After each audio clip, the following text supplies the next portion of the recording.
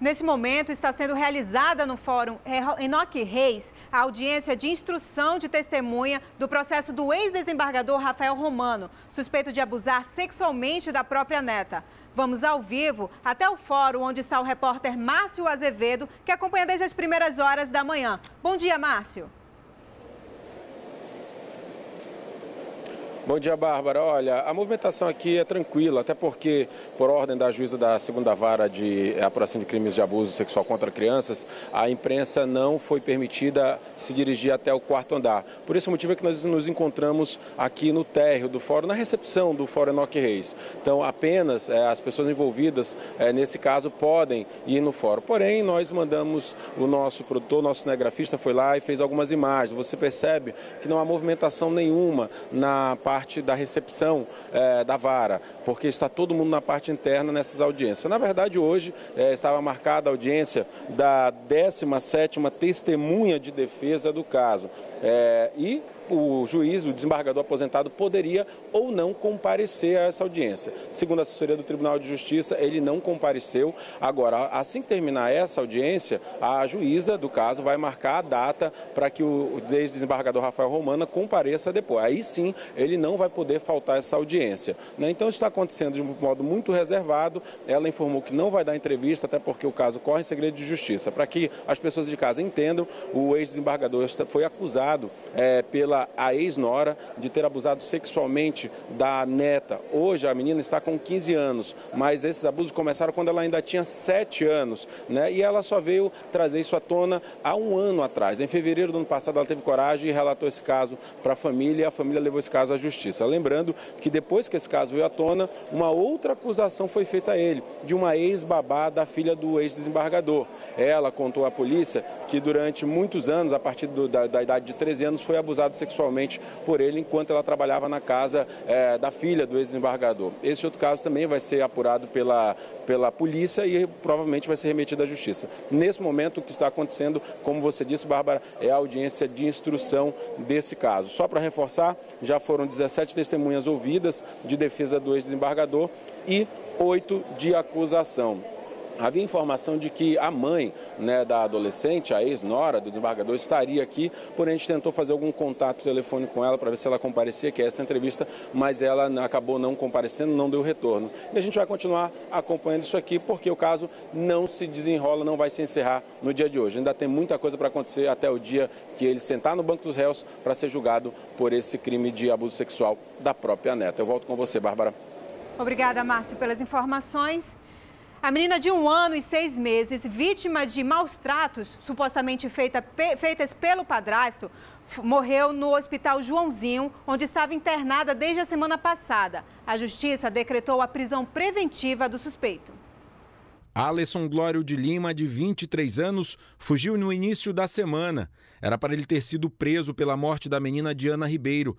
A criança teve morte cerebral confirmada nessa quinta. Lutador de MMA, Alisson teve a prisão preventiva decretada pelo juiz Luiz Cláudio Chaves na terça-feira. Ele já estava demonstrando a intenção de se evadir, é, apesar de ter se apresentado aqui no dia 15 com advogado e ter respondido as perguntas, ter sido indiciado por maus tratos, ele acabou preferindo mudar de município, teria ido inicialmente para Itacoatiara, depois para Barreirinha e agora em local incerto e não sabido. A polícia pede ajuda para prender Alisson. As denúncias podem ser feitas pelo número 181. O laudo dos médicos que atenderam a criança mostram que ela tinha diversos hematomas antigos pelo corpo.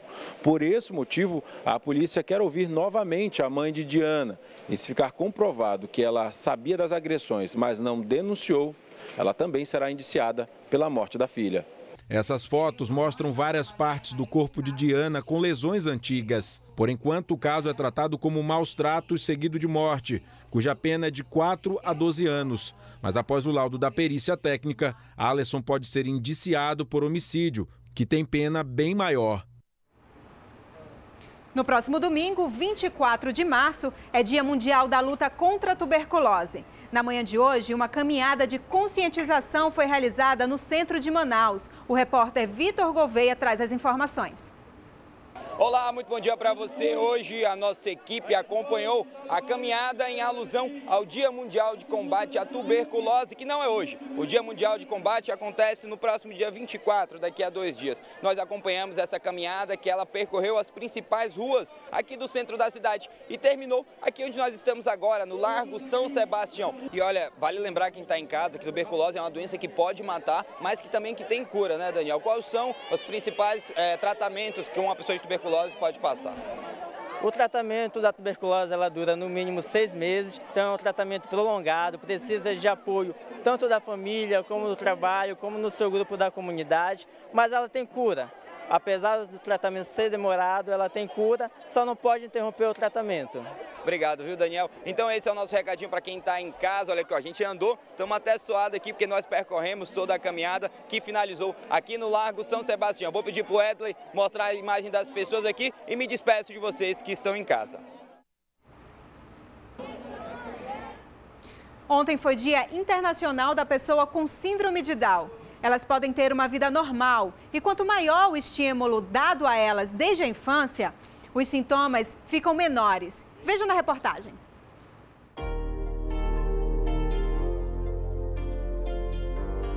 Chamada de trissomia 21, a doença é uma condição genética que leva às características físicas diferenciadas. Normalmente apresentamos em nossas células 46 cromossomos, divididos em 23 pares. Já crianças com síndrome de Down têm 47 cromossomos e apresentam 3 pares de cromossomos 21, ao invés de dois. Pessoas com síndrome de Down têm personalidade única, estabelecem boa comunicação e são sensíveis.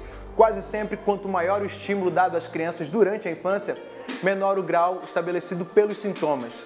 E o Isaac é prova disso. Ele tinha três meses, ele fez uma cirurgia cardíaca, né? E ele precisou de UTI, de uma série de procedimentos após a cirurgia também. Ele não podia fazer a fisioterapia porque ele tinha falta de ar. E foi para nós um processo muito difícil. Só que após a cirurgia cardíaca apareceu outro problema no Isaac, que foi a situação da vista. O cristalino dos olhos do Isaac nasceu subluxado. Ele teve que ir para São Paulo fazer uma cirurgia para corrigir e colocar uma lente na vista dele onde ele pôde recuperar né, 100% a visão. A pequena Alice, de 6 anos, também tem uma linda história. Em casa, ela esbanja energia e quando a mãe tenta conversar com a gente, ela fica ainda mais agitada. Eu fiquei, assim, assustada, né? Porque a gente não sabe, né, como é que vai ser o desenvolvimento. É coisa que a gente não, não conhece, né? A gente vê, mas não, não acha que vai acontecer com a gente, né? Mesmo com a descoberta bem depois do parto, a mãe não esconde a felicidade em ter a caçula como o xodó da casa. E no meio de pessoas mais que especiais, também tem o Felipe. Ele é um exemplo de superação. Pela manhã ele acorda e vai à escola, uma escola que tem sala de recursos para pessoas com síndrome de Down e outras deficiências, né? Ele também participa das atividades socioeducativas do Abrigo Monse Alves. Felipe é muito dedicado e diz ainda que quer ser professor. Professor. Professor? Tu gosta de ensinar também? Uhum. Matemática. Que neste dia tão lindo dedicado a eles, nós possamos lembrar que o amor é inexplicável e não conta cromossomos.